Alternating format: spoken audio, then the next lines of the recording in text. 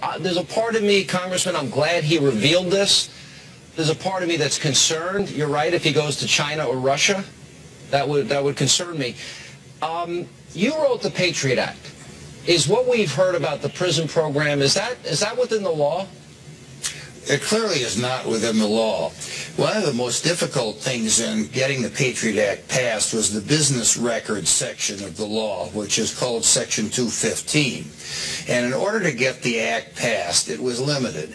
It was limited only to getting the business records of a foreigner, not an American, who is the target of an authorized terrorism investigation.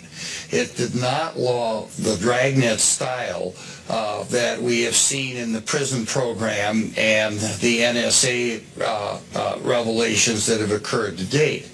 Uh, former House Intelligence Committee Chair Pete Hoekstra of Michigan uh, actually said that what the Obama administration is doing is the Bush administration on steroids. This is clearly beyond the law as I have outlined it, and it's unfortunate that the Justice Department and the FISA court did not follow the law in Justice's petition to the court and the court approving it.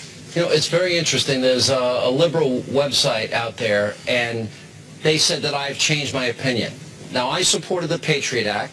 I support data mining. I support surveillance, and I support FISA courts. But I don't support what the administration did.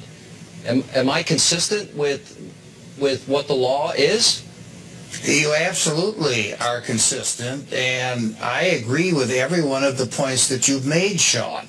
Uh, we have to balance security with the respect for civil liberties, which has made our country different than any other country in the world. I think I did that when I drafted the Patriot Act. Now, obviously we're going to have to have some changes in Section 215 and maybe in the law that authorizes the FISA court to do what it has done. Uh, I don't know exactly what those uh, amendments need to be. Uh, but obviously, this program has got to be reined in. You know, we should look at the business records of people who are targets of uh, investigations and who are foreigners. Uh, but we don't need to grab everybody's phone calls. And they can even go to grabbing the phone calls of journalists or members of Congress uh, who are protected in one way or the other by the Constitution so that the administration, whoever it may be, can see who we are in contact with and try to figure out how we are building a case to do what a journalist or a member of Congress wants to do. There are no checks and balances here. We've got to restore them.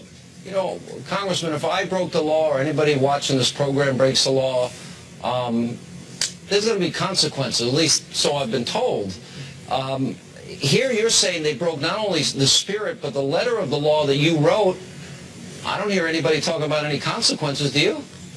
The problem you got with the FISA court is if they go too far, there is no way that somebody who is hurt by their orders can go to a public court to be able to challenge it.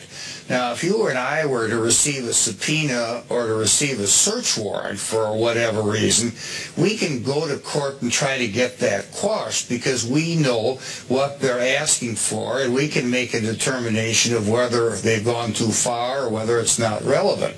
But nobody knows what the FISA court uh, has ordered. And my concern is, is that it's kind of like uh, saying that the police have to stop everybody to try to find the one drunken driver on the road. Uh, people should only be accused when there's probable cause. And I thought that the Patriot Act had been drafted in a narrow way so that we would go after foreigners who were targets. But evidently the Justice Department and the FISA court have decided to go beyond it. You know what, Congressman, this has been very uh, enlightening, edifying, and we appreciate your time, sir. Thank you. Anytime.